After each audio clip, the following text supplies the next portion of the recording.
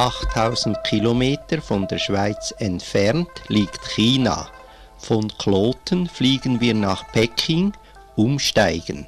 Weiterflug nach Shanghai, Hangzhou, Suzhou und mit der Bahn zurück nach Peking.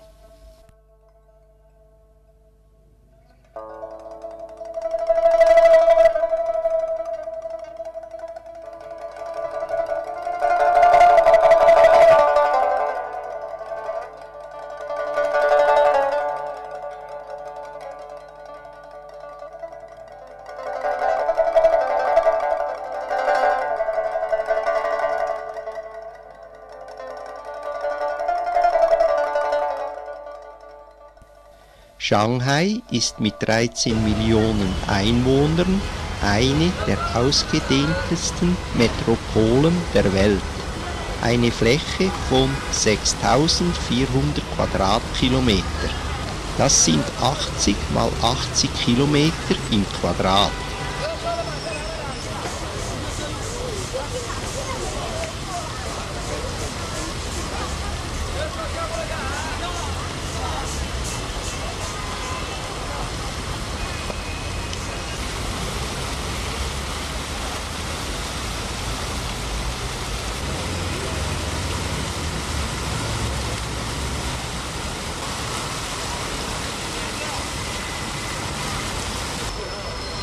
Die Promenade am Huangpu-Ufer wurde früher nach einem anglo-indischen Ausdruck für eine schlammige Küste Bund genannt.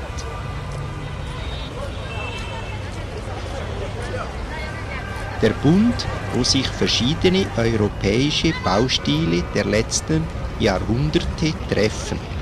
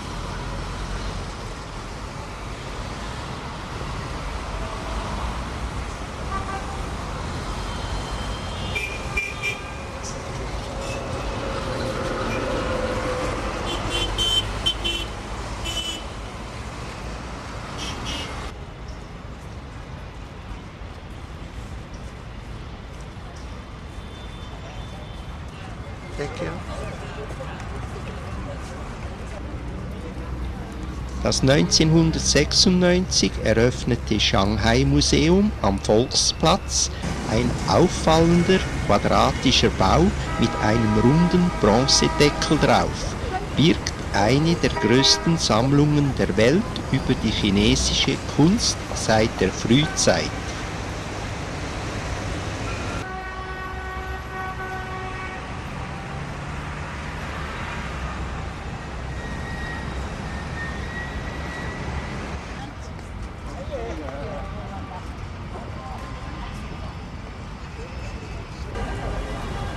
ein Wahrzeichen von Shanghai, der Fernsehturm, wo man eine grandiose Rundsicht auf die aufstrebende Stadt hat.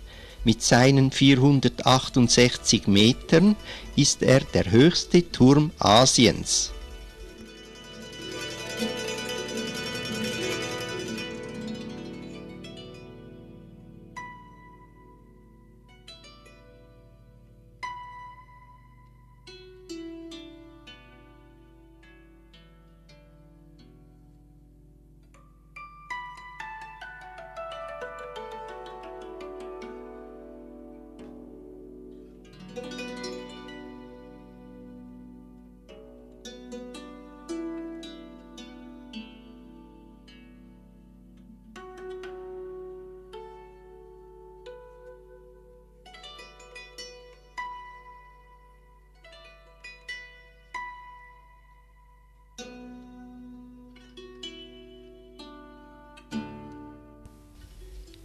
Untergeschoss des Fernsehturms sind schaufenstergroße Bilder aus der ganzen Welt ausgestellt.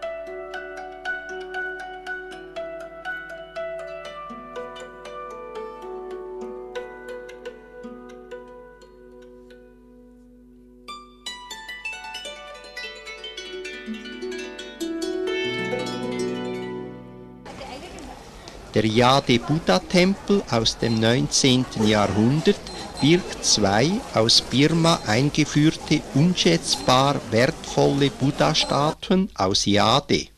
Die eine in der Sitzstellung der Erleuchtung, die andere in liegender Haltung.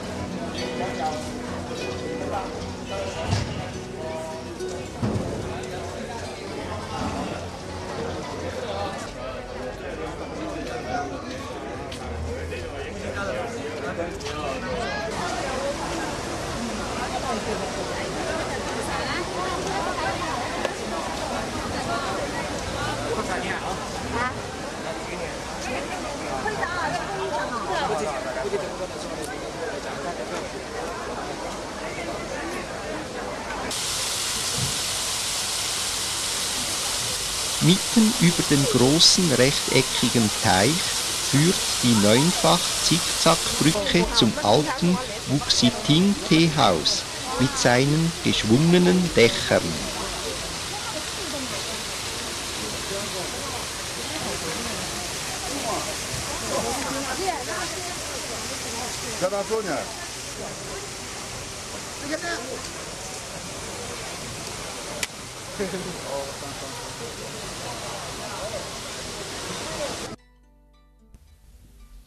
Der Yu-Yuan-Garten von einem Mandarin der Ming-Dynastie in Auftrag gegeben, ist der einzig typisch chinesische Park in Shanghai.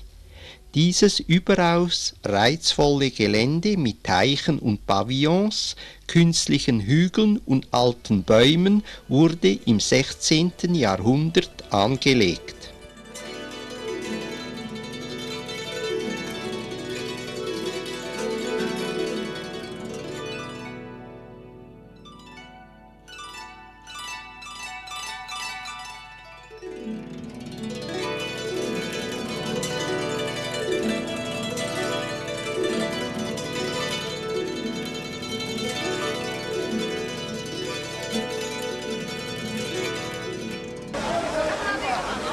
Einige kurze Impressionen aus der Shanghaier Altstadt.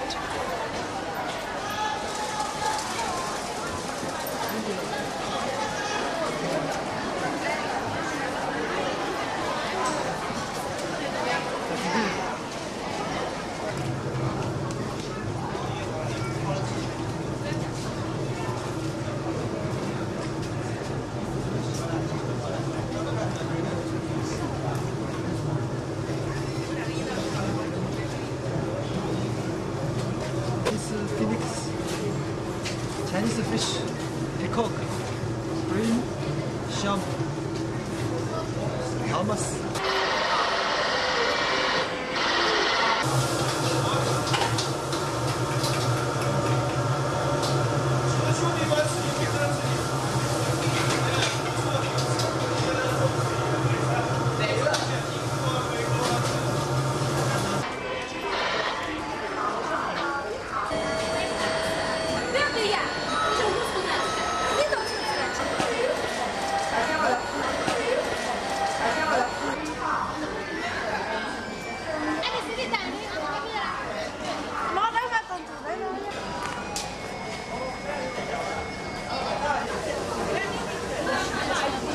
Frischere zubereitete Ravioli als hier können Sie nirgends bekommen.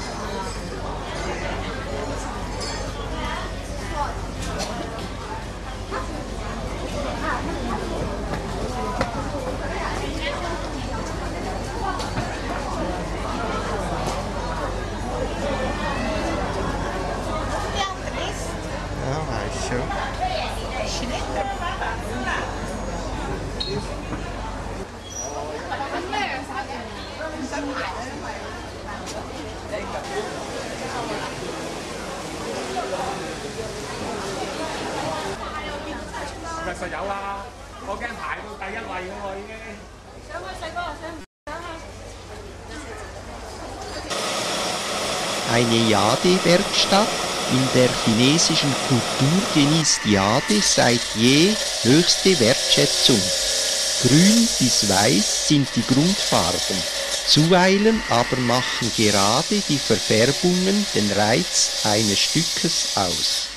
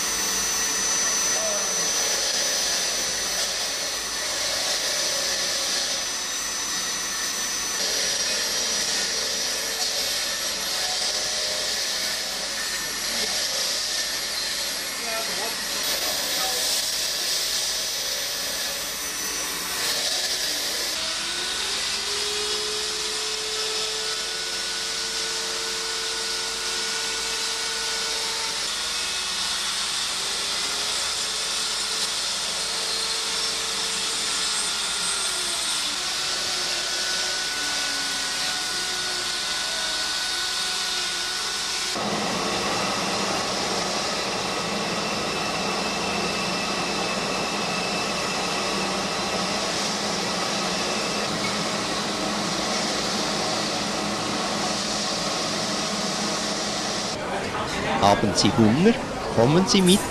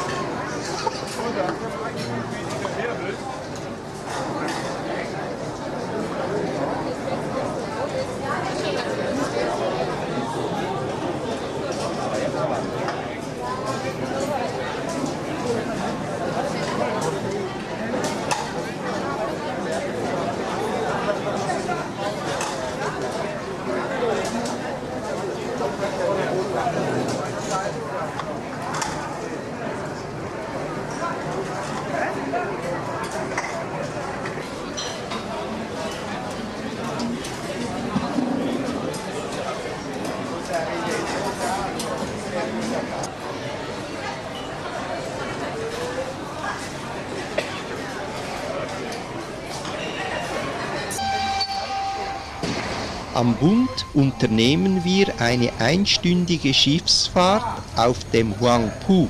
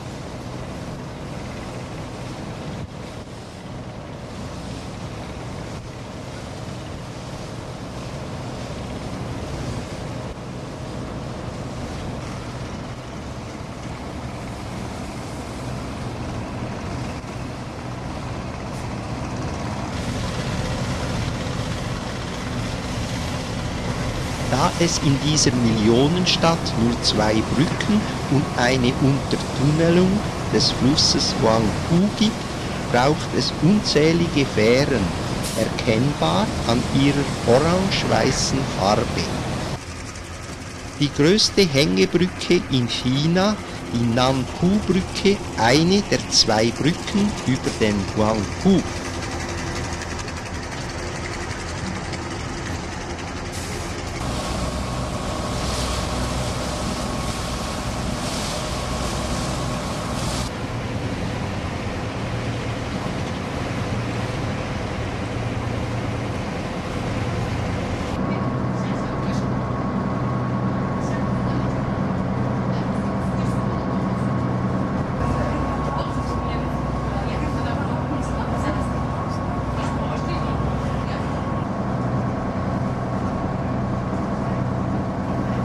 Farbig und voller Lärm ist die Schiffsflotte auf dem Huangpu. Da schwimmen moderne Containerschiffe neben vollgestopften Fähren, beladene Lastkähnen neben rostigen Küstendampfern. Aus dem Dunst und Smog taucht der Bund auf.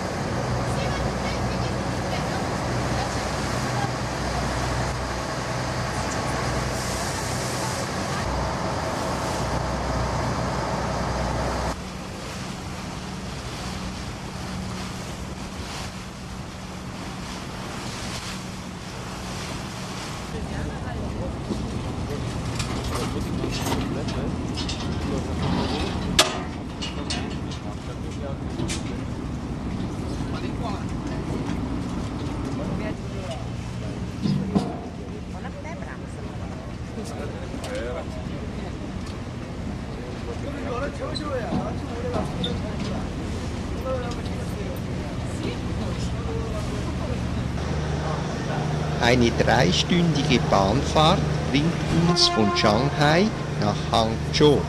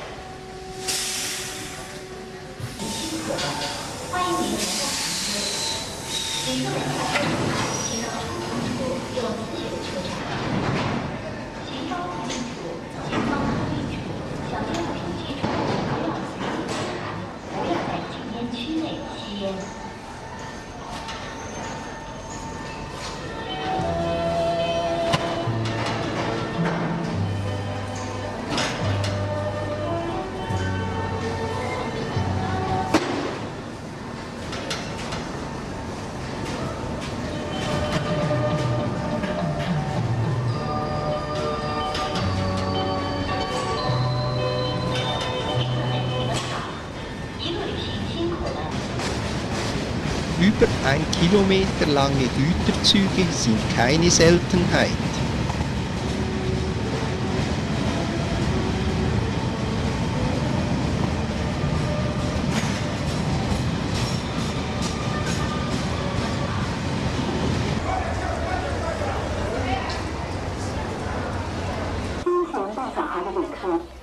Der Bahnhofplatz von Hangzhou, wo man sich ganz verloren vorkommt in dieser Menschenmasse.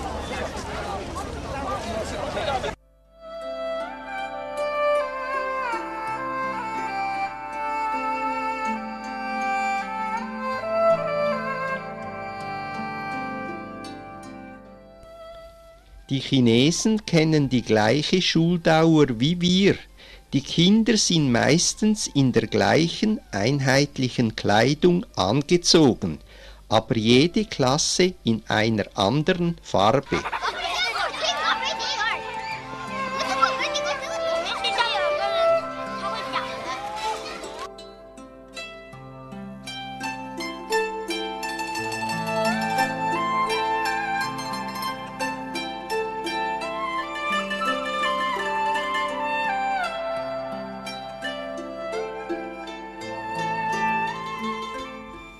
Eine Bootsfahrt auf dem Westsee, dessen Umgebung vor mehr als tausend Jahren in eine einmalige Gartenlandschaft verwandelt wurde, gilt als Hauptattraktion von Hangzhou.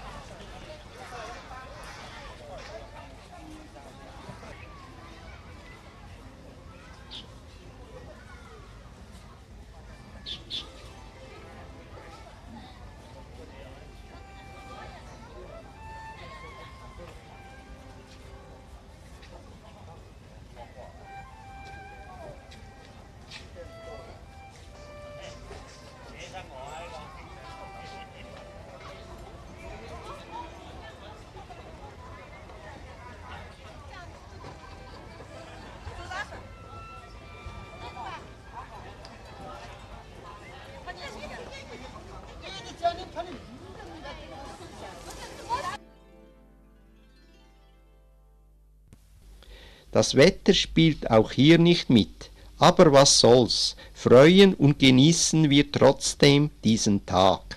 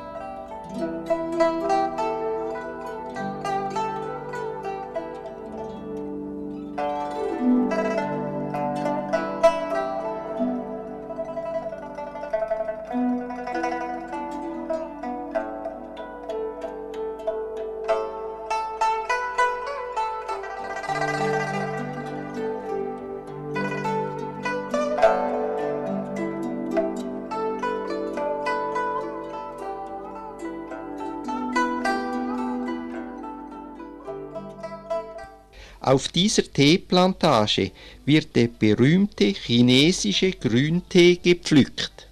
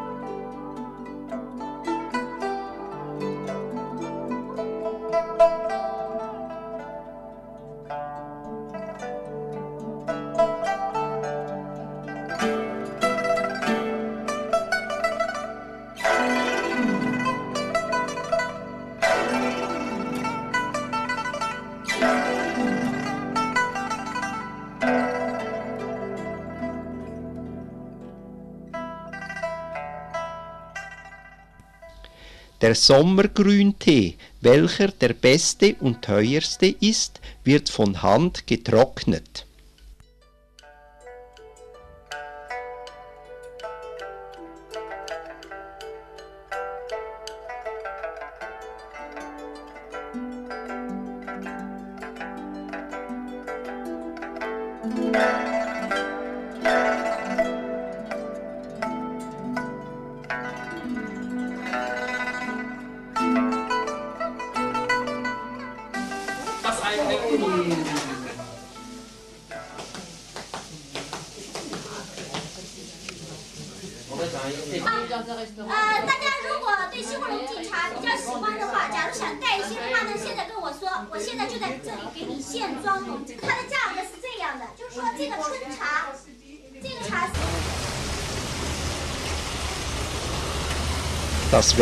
verbessert sich immer noch nicht, so dass wir die Regenschirme und Regenmäntel in Griffnähe behalten.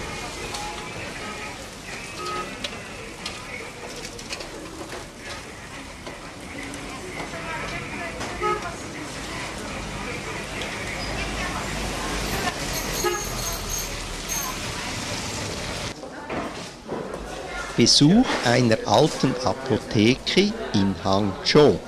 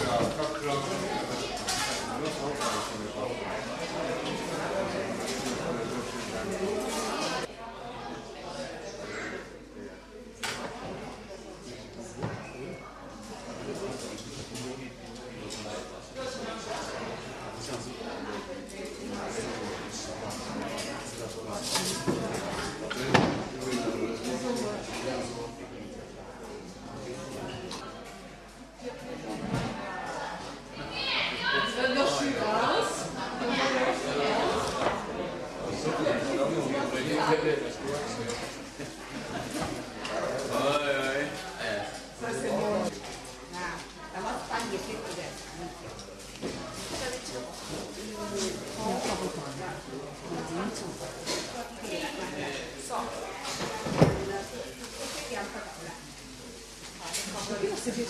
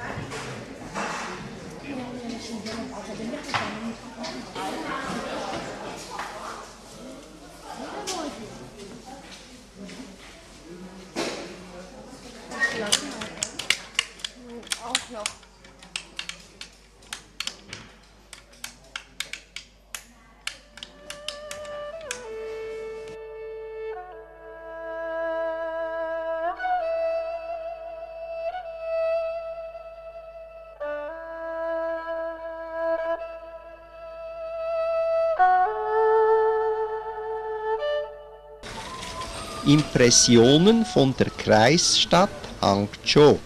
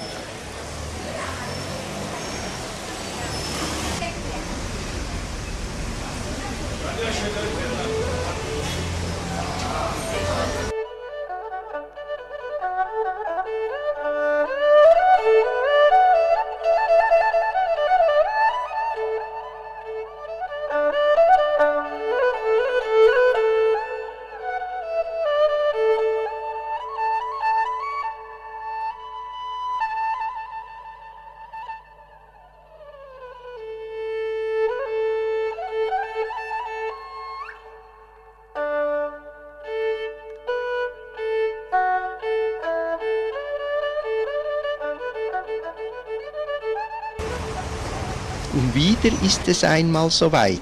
Der Magen knurrt. Mittagessen auf Chinesisch.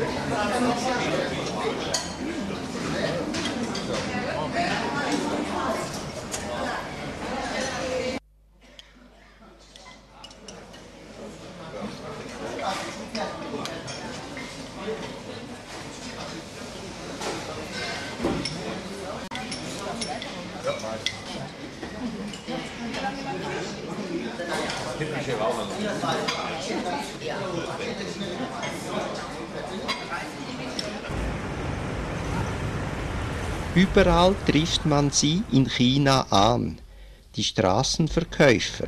Millionen von Chinesen verdienen so ihren Lebensunterhalt.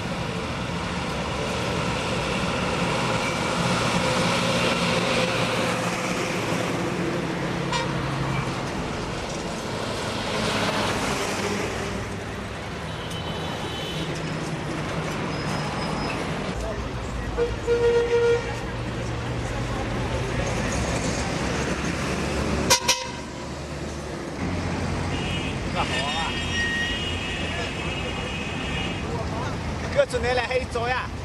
喂，哥准你给你来一呀？他们要招，你来一走。来，来，这个照不照？我给你照一下好了，好吧？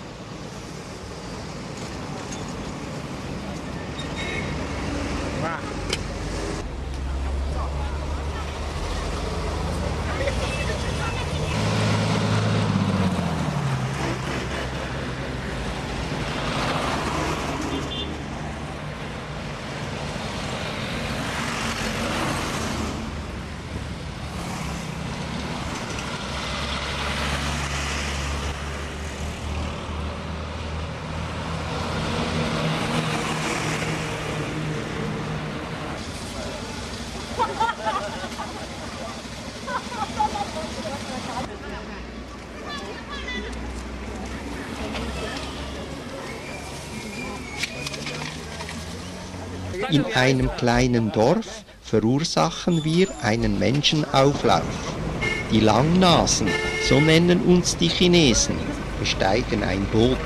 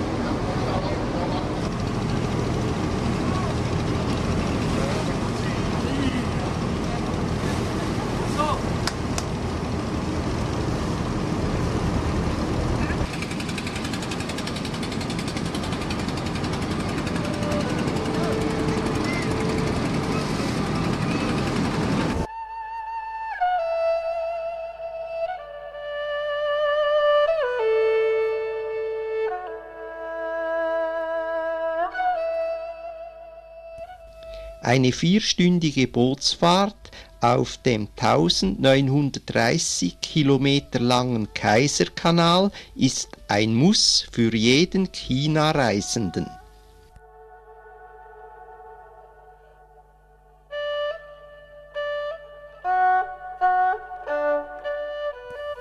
Mit der gleichen Weitsicht und Unbarmherzigkeit wie in Bezug der großen Mauer beschlossen Chinas Kaiser den Bau der längsten künstlichen Wasserstraße der Welt. Über den großen Kanal oder Kaiserkanal genannt, gelangt man von Peking bis nach Hangzhou, eine Entfernung von 1930 Kilometern, mit Verbindungen zum Gelben Fluss und Yangtze-Kiang. Der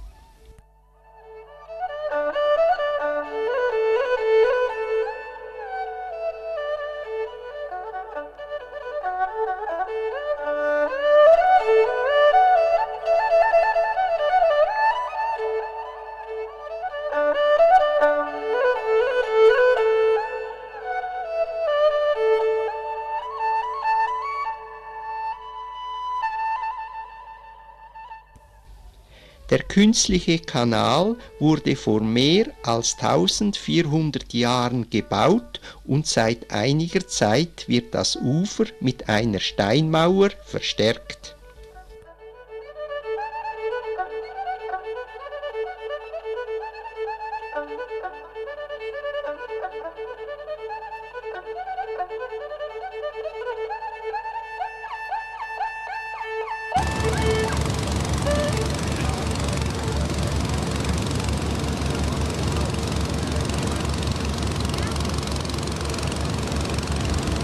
Auf dem Kaiserkanal wimmelt es von Frachtkähnen, die mit allen erdenklichen Waren beladen sind.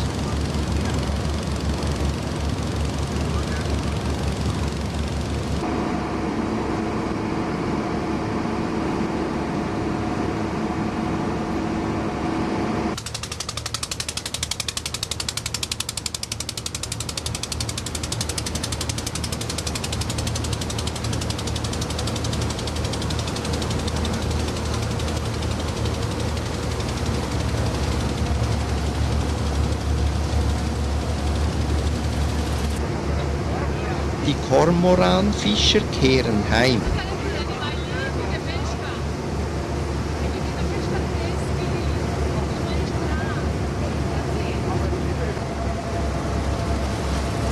Die Elektrizität wird in China hauptsächlich aus Kohle gewonnen und sorgt natürlich nicht für saubere Luft.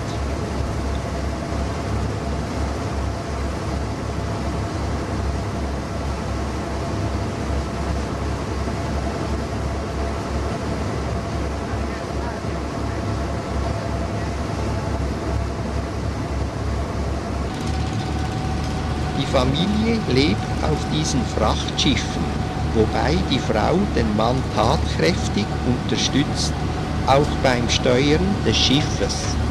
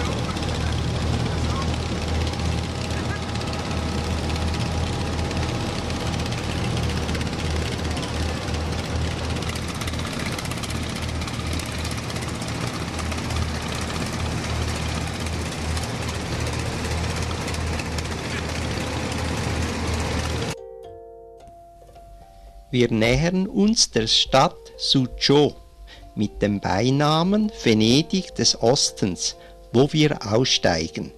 Genau heißt Suzhou aber Wasser im Überfluss.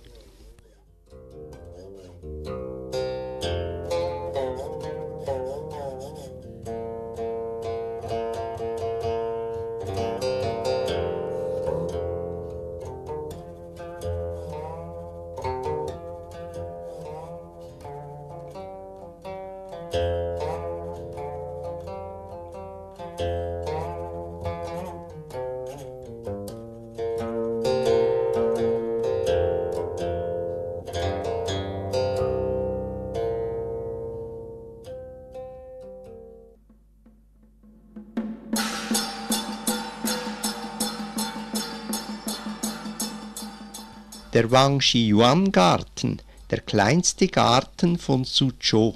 Er wurde im 12. Jahrhundert angelegt. Vor 600 Jahren brannte alles nieder und wurde originalgetreu wieder aufgebaut.